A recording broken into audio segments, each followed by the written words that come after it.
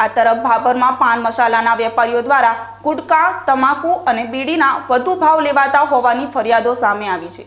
મસાલાના વેપારીઓ ખુલ્લેઆમ ગ્રાહકો પાસેથી કોઈ પણ જાતના ડર વગર બે ઘણા ભાવ વસૂલી રહ્યા હોવાની ફરિયાદો ઉડી રહી છે.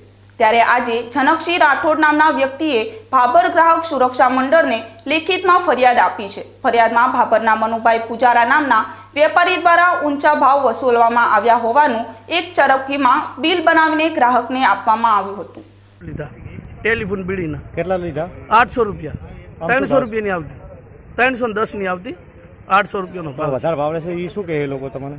એ લોકો એમ કહે છે કે અમારે ઊંચા ભાવે આવી પણ ઊંચા ભાવે નથી આવ્યું પડ્યો જૂનો માલ હંગરેલો છે એનો ભાવ છે. અને હવે લોકડાઉન ખુલી ગયું તોય ભાવ છે. મોદી સરકારે છૂટાલી તોય ભાવ છે આટલો ભાવ લે છે.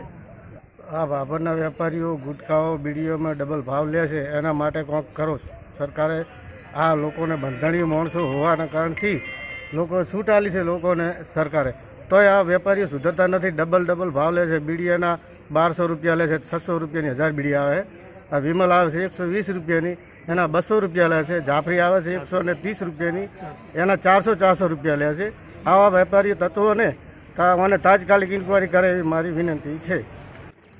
આજ રોજ ભાભરના પાન પાર્લર ધરાવતા જનકસિંહ મદારસિંહ રાઠોડે અમોને લેખિત અરજી આપેલ કે ભાભર મુકામે આવેલ જે જથ્થાબંધ ગુટકાના હોલસેલ વેપારીઓ છે, તે ભાવ વધારે લે છે. આ બાબતે અમે અમારી રીતે ખોનગીમાં ઇન્ક્વાયરી કરતા દરેક વેપારી દ્વારા ગુટકા, પાન મસાલા, બીડી, સિગરેટ આની અંદર ડબલ ભાવ લેવામાં આવી રહ્યા છે. આ બાબતે અમોએ આજરો તોલમાપ ઇન્સ્પેક્ટર તથા મામલતદારશ્રીને ફોનિક જાણ કરેલી છે. અને એમને કાર્યવાહી કરવા માટે જણાવેલ છે. તેમજ અત્રેની ઓફિસેથી પણ કાયદેસરની કાર્યવાહી કરવામાં આવશે.